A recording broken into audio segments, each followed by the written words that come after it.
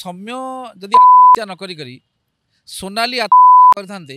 ତାଙ୍କ ପରିବାରକୁ କ'ଣ ଏମିତି ବାରମ୍ବାର ବାରମ୍ବାର ଆଇନର ଲଢ଼େଇ ଲଢ଼ିବାକୁ ପଡ଼ୁଥାନ୍ତା ଏଠି ରାମ ରଜାଙ୍କ ପୁଅ ଯଦି ପାଇଁ ଗୋଟେ ପ୍ରକାର ଲର ବ୍ୟବସ୍ଥା ଅଛି ରାମ ଭଣ୍ଡାରୀ ପୁଅ ପାଇଁ ଆଉ ଗୋଟେ ପ୍ରକାର ଲ ଦେଖନ୍ତୁ ଏଇଟା ଆମ ଆମେ ଗୋଟେ ଏମିତି କଣ୍ଟ୍ରିରେ ରହୁଛେ ଏଠି ଯଦିଓ କନଷ୍ଟିଚ୍ୟୁସନ୍ କୁହାହେଉଛି ସମସ୍ତଙ୍କ ପାଇଁ ସମାନ ଆଇନର ବ୍ୟବସ୍ଥା କିନ୍ତୁ ବାସ୍ତବ କ୍ଷେତ୍ରରେ ତା'ର ସବୁବେଳେ ଅଲଗା ଥାଏ ଏଠି ରାମ ରଜାଙ୍କ ପୁଅ ଯଦି ପାଇଁ ଗୋଟେ ପ୍ରକାର ଲ'ର ବ୍ୟବସ୍ଥା ଅଛି ରାମ ଭଣ୍ଡାରୀ ପୁଅ ପାଇଁ ଆଉ ଗୋଟେ ପ୍ରକାର ଲ କିନ୍ତୁ ବହି କହୁଛି ଦୁଇ ଜଣଙ୍କ ପାଇଁ ସମାନ ଆଇନର ବ୍ୟବସ୍ଥା ଦେଖନ୍ତୁ ଏ ଯେଉଁ ମନେକର ଏଇ ଯେଉଁ ଆପଣ ତ ନବଦାସଙ୍କ କଥା ସେ ଜଣେ ମିନିଷ୍ଟର ମାନେ ହାଇ ପ୍ରୋଫାଇଲ୍ କ୍ୟାବିନେଟ୍ ମିନିଷ୍ଟର ତାଙ୍କ କଥା କହୁଛନ୍ତି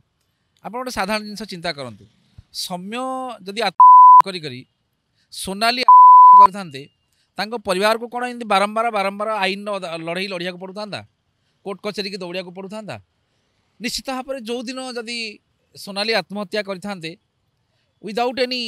ମାନେ ଯେଉଁଟା କୁହାଯିବ ସୁଇସାଇଡ଼ାଲ ନୋଟ୍ ତାକୁ ଛାଡ଼ିକି ମଧ୍ୟ ସୌମ୍ୟ ଏତେବେଳକୁ ଗିରଫ ହେଇକି ଜେଲ୍ ଭିତରେ ଥାନ୍ତେ ଏଇଟା ହେଉଛି ବର୍ତ୍ତମାନ ଆଇନର ବ୍ୟବସ୍ଥା ଯାହା ଆଉ ଇଏ ତ ନବ ଦାସ ହେଉଛନ୍ତି କ୍ୟାବିନେଟ୍ ମିନିଷ୍ଟର ତାଙ୍କର ସରକାର ସେମାନଙ୍କର ଚାଲିଥିଲା ତାଙ୍କର ସରକାର ତାଙ୍କୁ ଦିନ ଦ୍ୱିପରେ ଗୁଳି ମରାଗଲା ତା ପାଇଁ ଅବଭିୟସ୍ଲି ସରକାର ଆଟେନସନ୍ଟା ନିହାତି ଭାବରେ ଜୋରଦାର ହେବା ଦରକାର ଆଉ ହେଉଛି ମଧ୍ୟ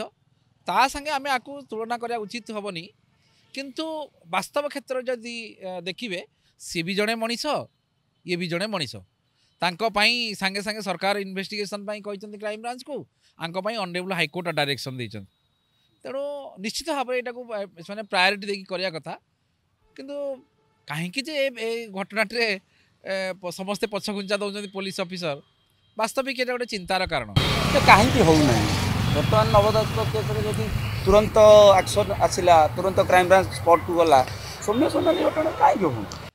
নিশ্চিত ভাবে এটা গোটে এটা গোটে সবুঠু বড় কোশ্চিন ଆପଣ ଦେଖନ୍ତୁ ଗୋଟେ ଏଫ୍ଆଇଆର୍ଟି ରେଜିଷ୍ଟ୍ରେସନ୍ କରାଗଲା ନାହିଁ ଗୋଟେ ସାଧାରଣ ଗୋଟେ ଲୋକଟା ଗୋଟେ ଲୋକଟା ମରିଯିବା ପରେ ମଧ୍ୟ ଗୋଟେ ଏଫ୍ଆଇଆର୍ ରେଜିଷ୍ଟ୍ରେସନ୍ କରିବା ପାଇଁ ଅନ୍ୟ ଦ୍ୱାରସ୍ଥ ହେବାକୁ ପଡ଼ିଲା ଅବମାନନା ହେଇପାରିଲା ନାହିଁ ଯେତେବେଳେ କୋର୍ଟ ଇନ୍ଷ୍ଟ୍ରକ୍ସନ୍ ମାଗିଲେ ମାନ୍ୟବର କୋର୍ଟ ଏଫଆଇଆରଟା ମାନେ ଦିନ ଧରି ପଡ଼ିଚାଲିଲା କୌଣସି ପ୍ରକାର ରିକ୍ସ ନାହିଁ ରେସ୍ପନ୍ସିବିଲିଟି ନାହିଁ କିଛି କିନ୍ତୁ ପର ମୁହୂର୍ତ୍ତରେ ଯେତେବେଳେ ଅନେବୁଲ ହାଇକୋର୍ଟ ସମସ୍ତ ଜିନିଷକୁ ଦେଖିଲେ ନେଗ୍ଲେଜେନ୍ସ ଏ ଯେଉଁ ଇନଭେଷ୍ଟିଗେସନ୍ଟାକୁ ମାନ୍ୟବର ହାଇକୋର୍ଟ ଡାଇରେକ୍ସନ୍ ଦେଇଛନ୍ତି କ୍ରାଇମ୍ ବ୍ରାଞ୍ଚକୁ ଏବଂ ସବୁଠୁ ଇମ୍ପୋର୍ଟାଣ୍ଟ ଜିନିଷ ହେଉଛି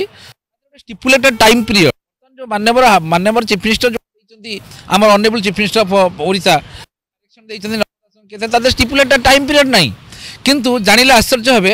অনরেবল হাইকোর্ট ডাইরেকশন দিয়েছেন এই যে সময় ম্যাটর উপরে তাপরে গোটে স্টিপুলেটেড টাইম পিরিয়ড অছে উইদিন থ্রি মন্থস ভিতরে তা তদন্ত প্রক্রিয়া সমাপ্ত করি তাঙ্কু তদন্তর রিপোর্ট সবমিট করবার অছি তেণু যদি ঘটনাটিকে আমূলচূল ভাবে দেখবে জনসা ভারতর কোণ অনুকোণে রহুথিবা জনসাধারণ প্রতিটি ওড়িয়া জাঁ সারে যে এই যে সৌম্য সোনালী ম্যাটর ভিতরে কোটি না কোটি গোটে নিহাতি ভাবে ଗୋଟେ ବଡ଼ ବଡ଼ ଲୋକଙ୍କର କାହାର ଇନଭଲ୍ଭମେଣ୍ଟ ଅଛି ଯାହାକୁ ଡରି ସେମାନେ ଇନଭେଷ୍ଟିଗେସନ୍ ପ୍ରକ୍ରିୟାକୁ ଡେରି ପରିବାର ଲୋକଙ୍କୁ ଡକାଯାଉନି କାହାକୁ ଡକାଯାଇନି ତାଙ୍କ ପରିବାର ଲୋକଙ୍କୁ ଯଦି ଡକାଯାଇଥାନ୍ତା ତ ଆମ ପାଖରେ ଖବର ଥାନ୍ତା ବର୍ତ୍ତମାନ ସୁଦ୍ଧା ସେମିତି କୌଣସି ପ୍ରକାର ମାନେ ମୁଁ କିଛି ଜାଣିପାରୁନି କ'ଣ ଇନଭେଷ୍ଟିଗେସନ୍ ହେଉଛି ଅବଭିୟସ୍ଲି ଯେହେତୁ ତାଙ୍କ ପରିବାରର ଲୋକମାନଙ୍କୁ ସେମାନେ ମୁଖ୍ୟ ସାକ୍ଷୀ ତାଙ୍କ ଭଉଣୀ ହେଉଛନ୍ତି ତା'ର ଇନଫର୍ମାଟ୍ ସେ କେସ୍ର ଏବଂ ସେମାନଙ୍କ ପାଖରେ ডকুমেন্ট রয়েছে এবং তাঁর ভিডিওগ্রাফস রয়েছে সমস্ত প্রমাণপত্র সে পরিবার ভিতরে রয়েছে কিন্তু যেহেতু সে ডাকি না বর্তমান সুদ্ধা কম হচ্ছে মুবি কিছু বুঝিপারুনি